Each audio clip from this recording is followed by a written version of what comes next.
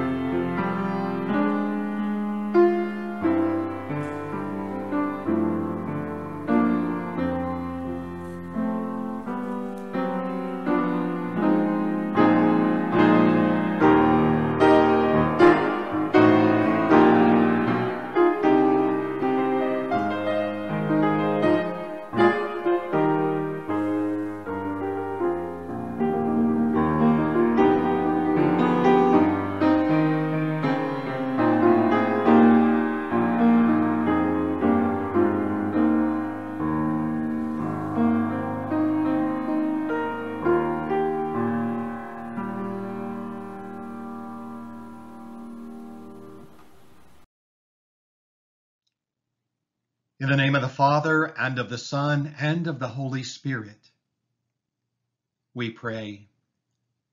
Almighty God, to whom all hearts are open, all desires known, and from whom no secrets are hid, cleanse the thoughts of our hearts by the inspiration of your Holy Spirit, that we may perfectly love you and worthily magnify your holy name, through Jesus Christ our Lord. We confess our sin in the presence of God and in solidarity with our brothers and sisters in Christ, both near and far.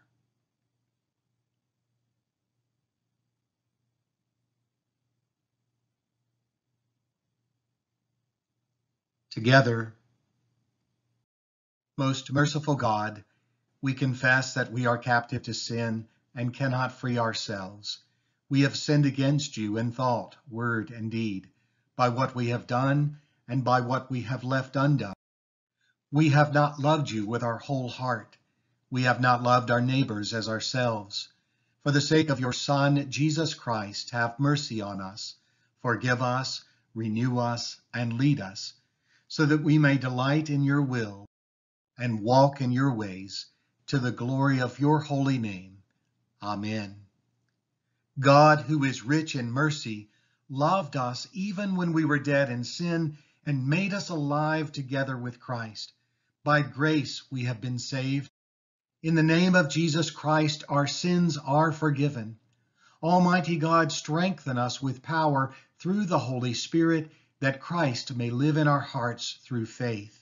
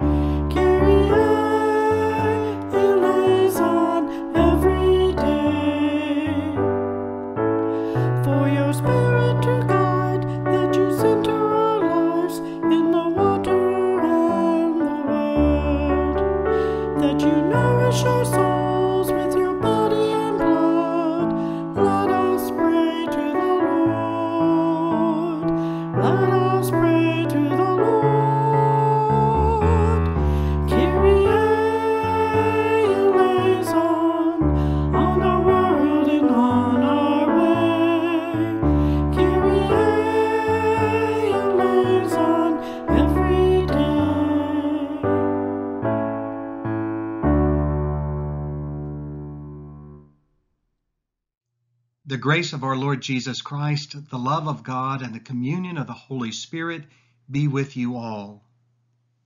We pray.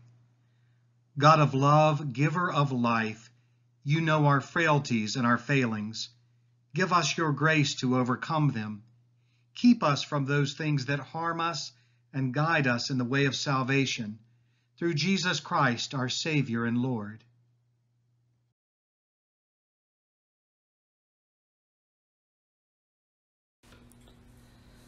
A reading from the 18th chapter of Ezekiel. The word of the Lord came to me. What do you mean by repeating this proverb concerning the land of Israel? The parents have eaten sour grapes, and the children's teeth are set on edge. As I live, says the Lord God, this proverb shall no more be used by you in Israel. Know that all lives are mine. The life of the parent as well as the life of the child is mine. It is only the person who sins that shall die. Yet you say, The way of the Lord is unfair. Hear now, O house of Israel, is my way unfair? Is it not your ways that are unfair? When the righteous turn away from their righteousness and commit iniquity, they shall die for it. For the iniquity that they have committed, they shall die. Again, when the wicked turn away from the wickedness they have committed and do what is lawful and right, they shall save their life. Because they considered and turned away from all the transgressions that they had committed, they shall surely live, they shall not die. Yet the house of Israel says, The way of the Lord is unfair. O house of Israel, are my ways unfair? Is it not your ways that are unfair? Therefore I will judge you, O house of Israel, all of you according to your ways, says the Lord God. Repent and turn from all your transgressions, otherwise iniquity will be your ruin. Cast away from you all the transgressions that you have committed against me, and get yourselves a new heart and a new spirit. Why will you die, O house of Israel? For I have no pleasure in the death of anyone, says the Lord God. Turn then and live. The word of the Lord. A reading from the second chapter, chapter of Philippians. If then there is any encouragement in Christ, any consolation from love, any sharing in the Spirit, any compassion and sympathy. Make my joy complete. Be of the same mind, having the same love, being in full accord and of one mind. Do nothing from selfish ambition or conceit, but in humility regard others as better than yourselves. Let each of you look not to your own interest, but to the interest of others. Let the same mind be in you that was in Christ Jesus, who, though he was in the form of God, did not regard equality with God as, of God as something to be exploited, but emptied himself, taking the form of a slave, being born in human likeness, and being found in human form. He humbled himself and became obedient to the point of death, even death on a cross. Therefore, God also highly exalted him and gave him the name that is above every name, so that at the name of Jesus every knee should bend, in heaven and on earth and under the earth, and every tongue should confess that Jesus Christ is Lord, to the glory of God the Father. Therefore, my beloved, just as you have always obeyed me, not only in my presence, but much more now in my absence, work out your own salvation with fear and trembling. For it is God who is at work in you, enabling you both to will and to work for his good pleasure. The word of the Lord. Gospel according to St. Matthew, the 21st chapter. When Jesus entered the temple, the chief priests and the elders of the people came to him as he was teaching and said, By what authority are you doing these things, and who gave you this authority? Jesus said to them, I will also ask you one question. If you tell me the answer, I will also tell you by what authority I do these things. Did the baptism of John come from heaven? Or was it of human origin? And they argued with one another, If we say from heaven, he will say to us, Why then did you not believe him? But if we say of human origin, we're afraid of the crowd, for all regard John as a prophet. So they answered Jesus, We do not know. And he said to them, Neither will I tell you by what authority I am doing these things. What do you think? A man had two sons. He went to the first and said, Son, go and work in the vineyard today. He answered, I will not. But later he changed his mind and went. The father went to the second and said the same, and he answered, I go, sir, but he did not go. Which of the two did the will of his father? Said the first. Jesus said to them, Truly I tell you, the tax collectors and the prostitutes are going into the kingdom of God ahead of you. For John came to you in the way of righteousness, and you did not believe him. But the tax collectors and the prostitutes believed him and even after you saw it, you did not change your minds and believe him. The Gospel of our Lord.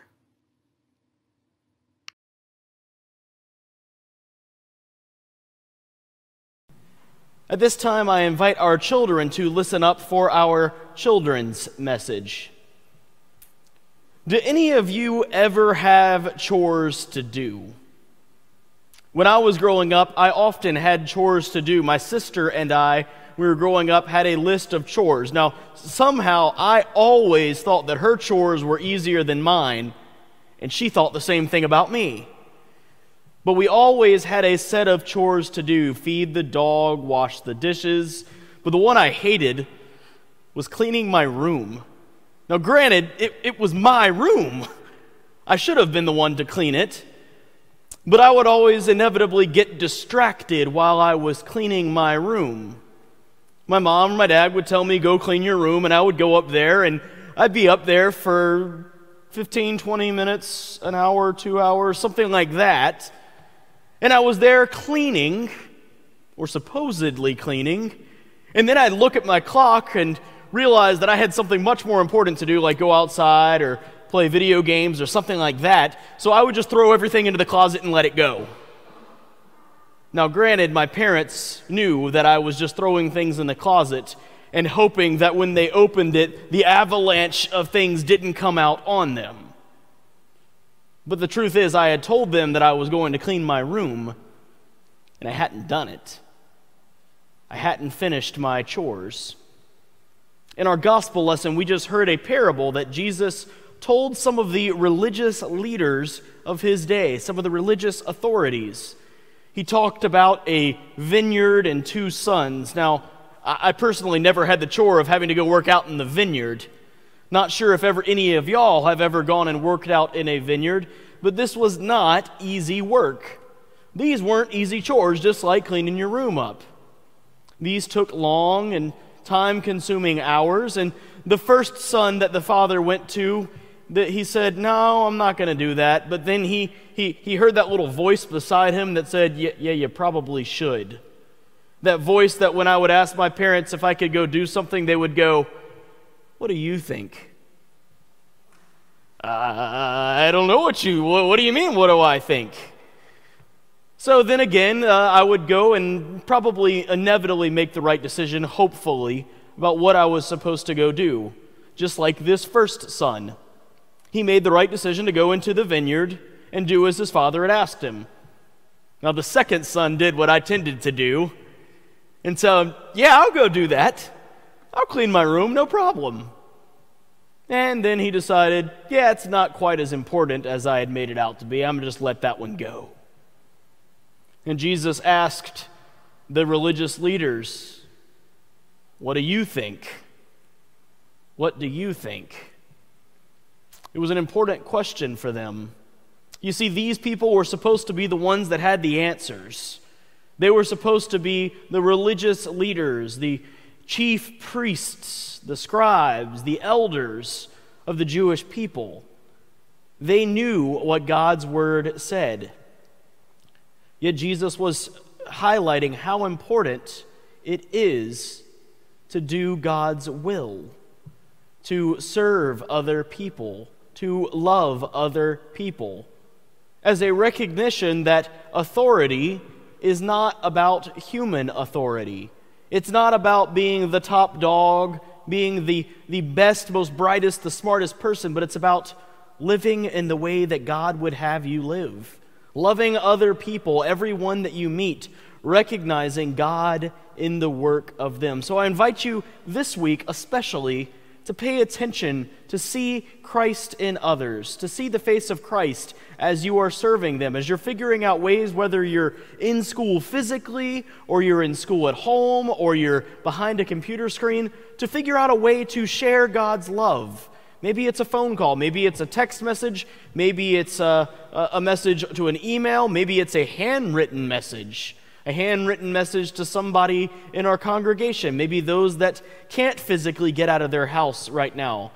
I think they might enjoy a handwritten message, a message of God's love and God's peace to them during this difficult time. So I invite us all to think about that this week ways that you can serve others, even in a time like this. So when Jesus asked, Which one of you did the will of the Father? you can all say with very clear consciences, without hearing that little person telling you you have to, I've gone, sir, and I did. I've done the will of God because each and every one of you is filled, filled with God's love. May you share that with all that you meet. Will you pray with me? Hey, God, sometimes we say yes and we really mean no. Sometimes we say no, and then you keep working in us and through us for yes. Help us to say yes to those things which you are calling us to do and to actually follow through them so that we can share your love with everyone we meet. In Jesus' name we pray. Amen. Grace to you and peace from God our Father and our Lord and Savior Jesus Christ through the unity of the Holy Spirit. Amen. I lied. We all lied. Or at least most of us did. I can almost pinpoint the exact moment in time in which each and every one of us awake lied. That time was 12 a.m., January 1st, 2020.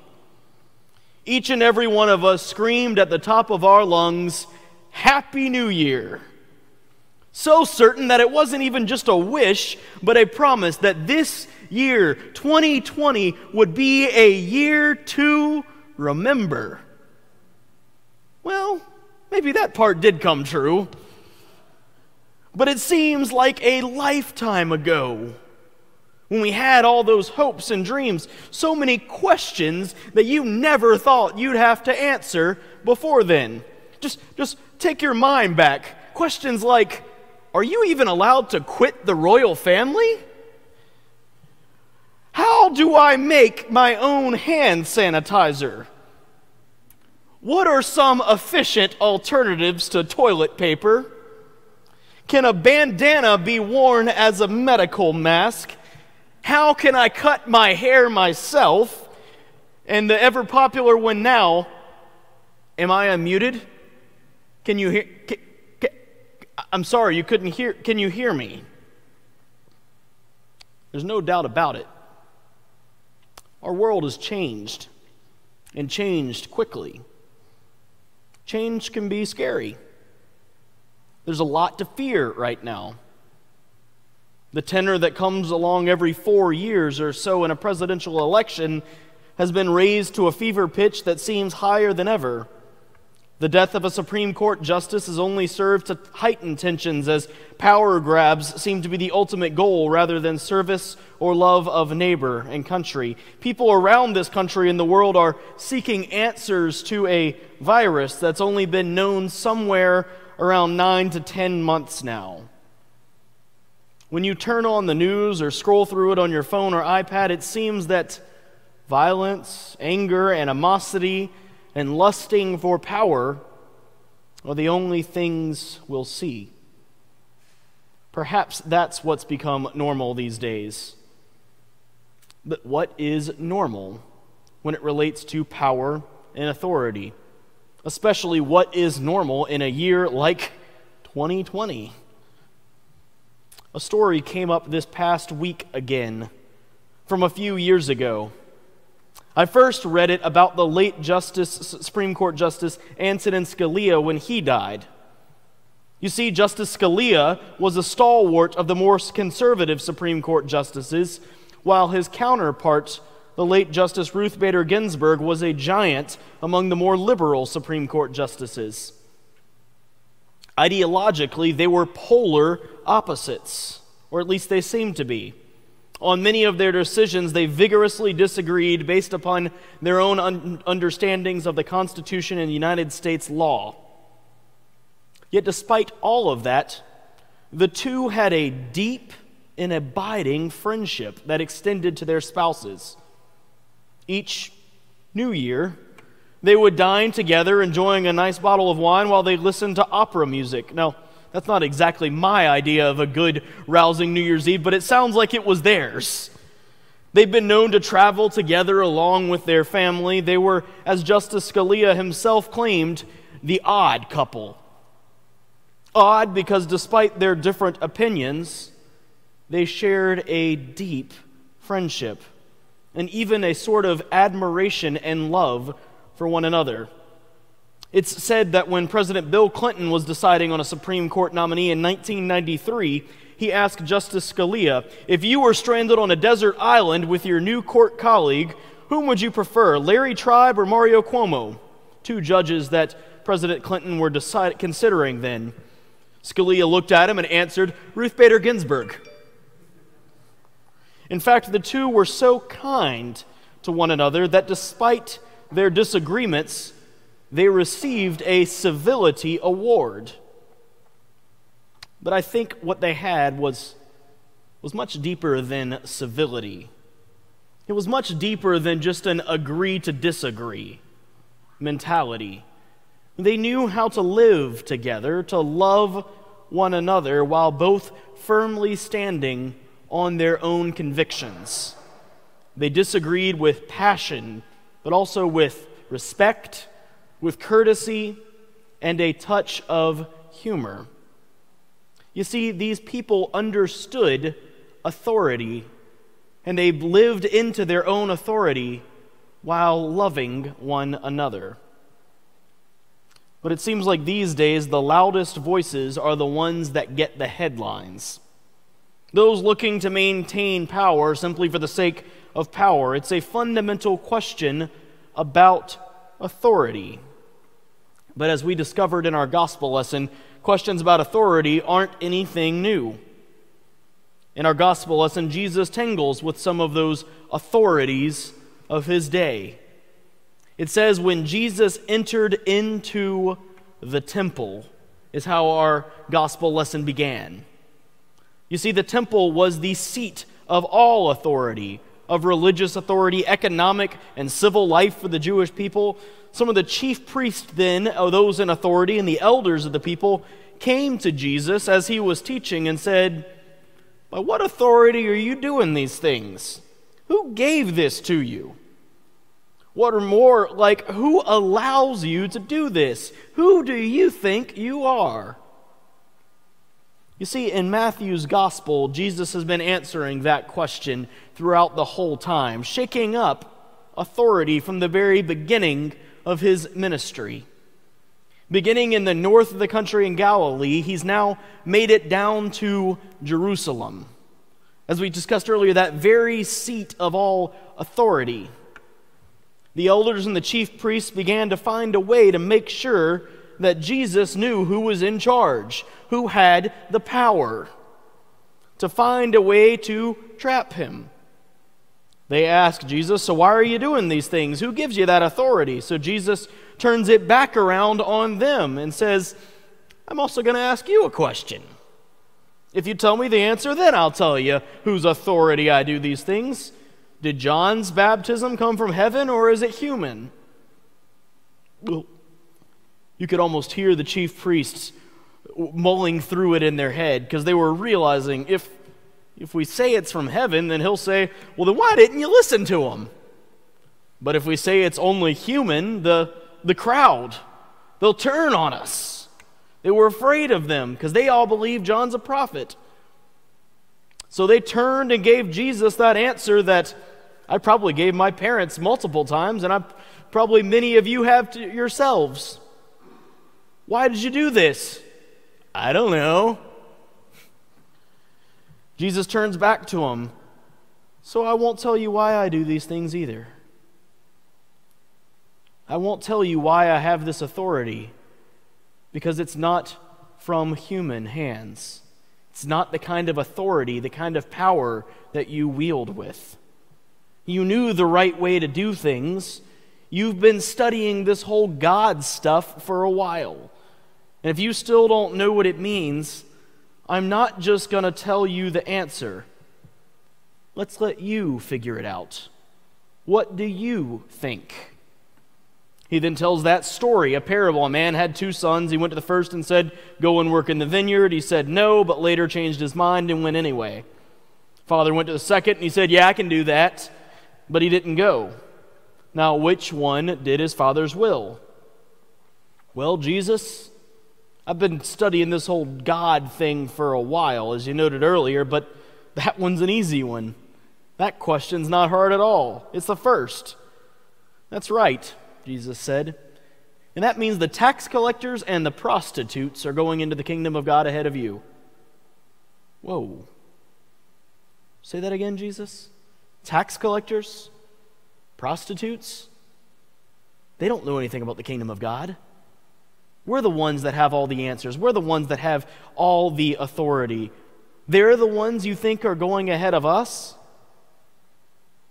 Talk about throwing down authority. Jesus was changing the very way the Jewish people understood God, shaking things up, answering the question about ultimate authority, ultimate power. It's God.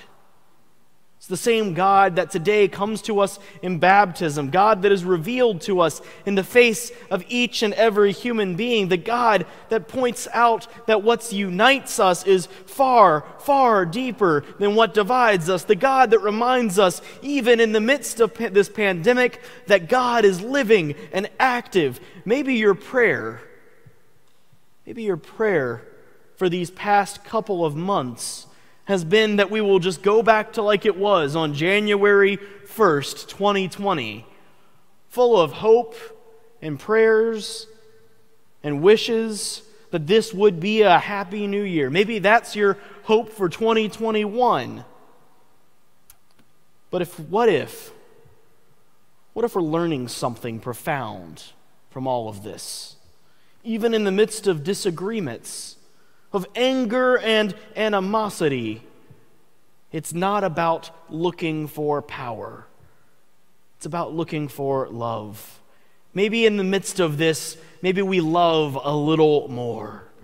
May we treasure the ability to look into one another's eyes from across a dinner table less than six feet away a bit more deeply than we did the last time it happened.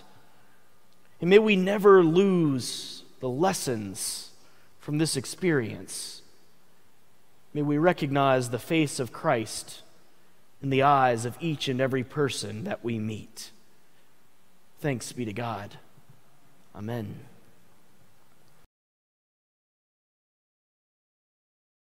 We now confess the faith of the Church, the faith in which we baptize through the words of the Apostles' Creed.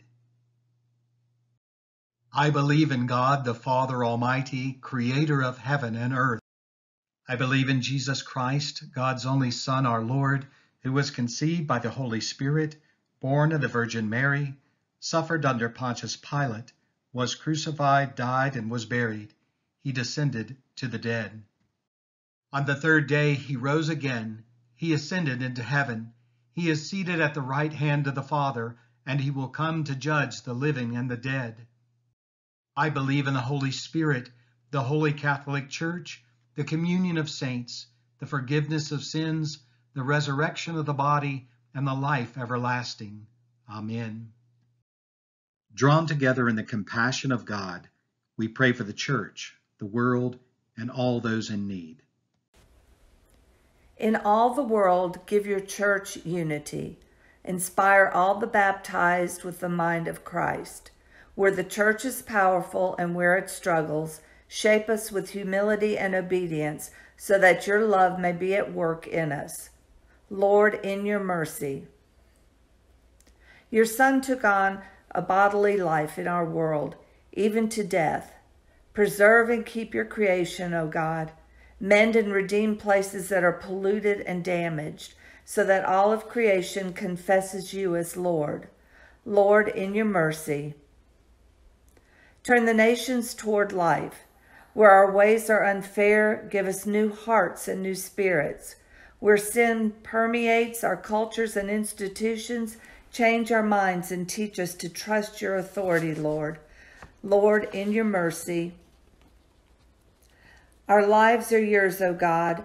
Relieve the suffering of those who are ill in body, mind, or spirit. Defend the lives and welfare of children who are abused or neglected hungry or exploited, bullied or lonely. Be especially present to the persons, situations, or circumstances we bring before you now, either upon our lips or within our hearts at this time. Lord, in your mercy, continue to turn us from our own interests toward the interests of others in our community. Fill us with your compassion and sympathy Bless ministries of care in our community, especially the Mended Hearts, Stephen Ministry, and Parkinson's Support Group.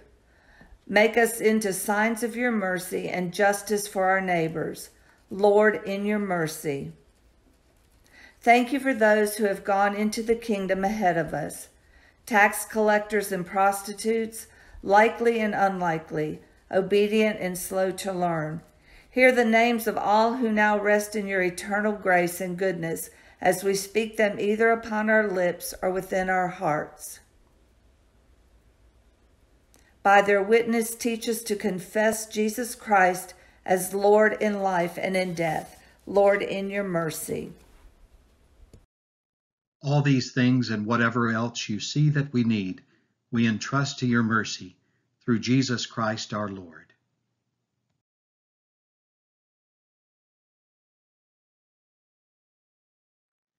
The sharing of the peace is more than a simple good morning or a hello, how are you?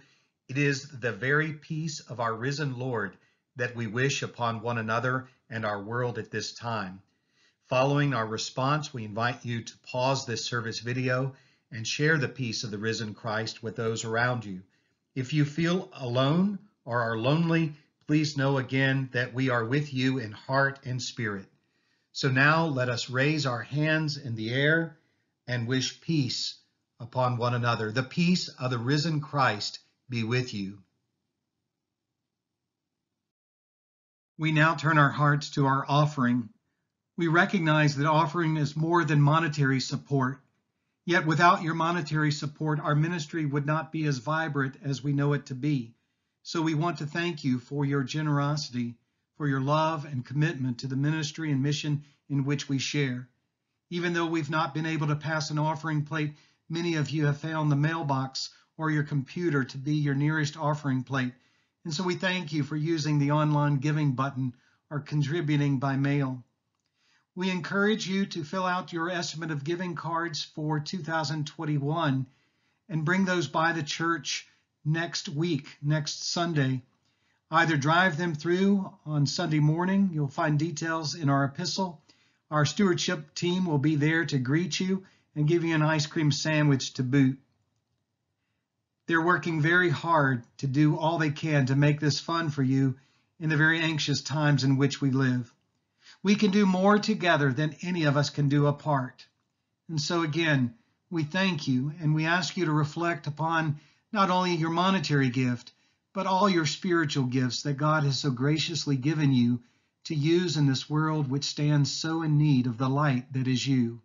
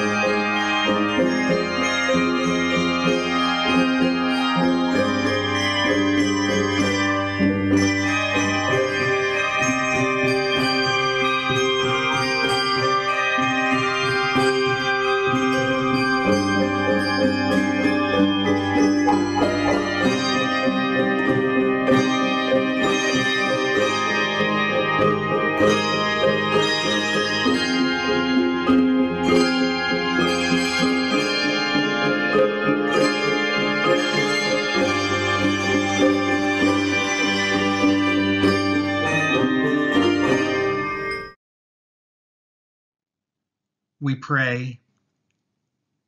God of all goodness and grace, receive the gifts of our hearts, our lives, our spirits that we offer before you at this time, and grant that our whole life may give you glory and praise.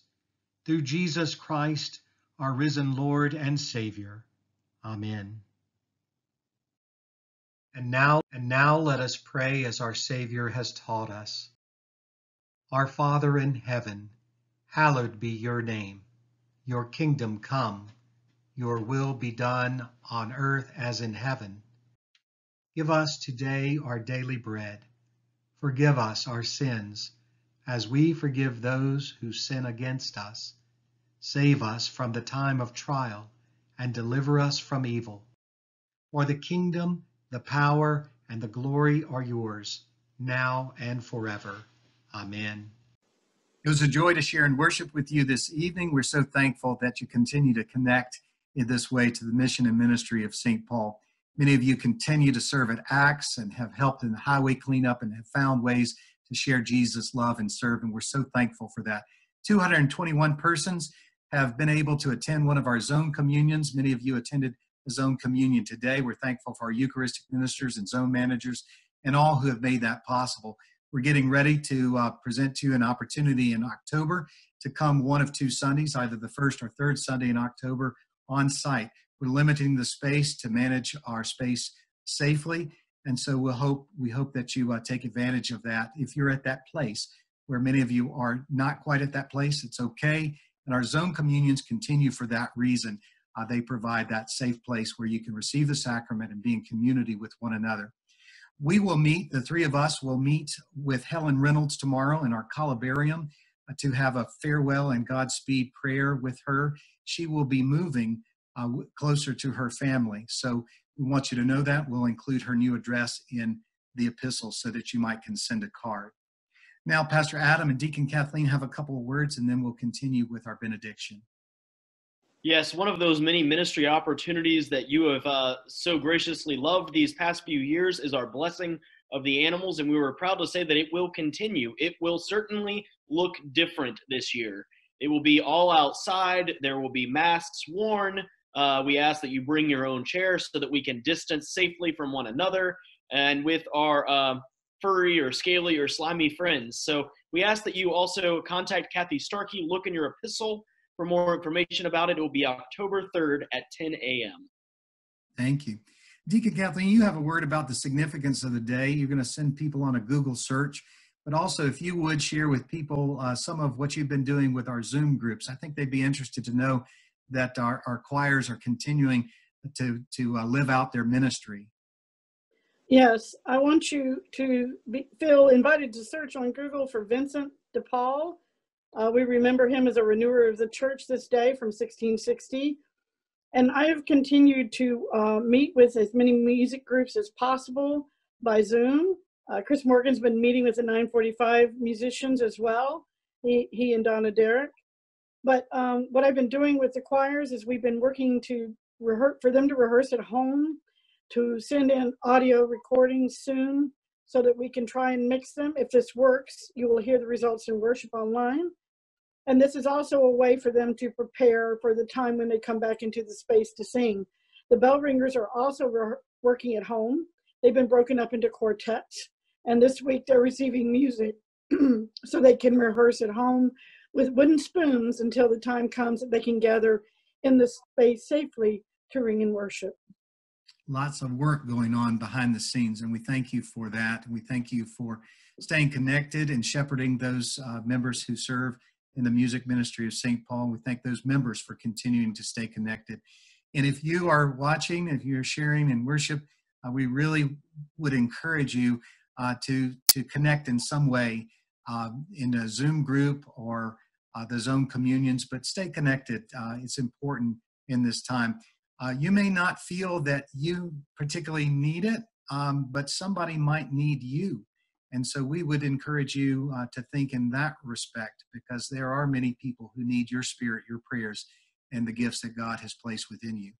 So now may God bless you and keep you. May the Lord make his face to shine upon you and be gracious to you. The Lord look upon you with favor and give you peace. Amen.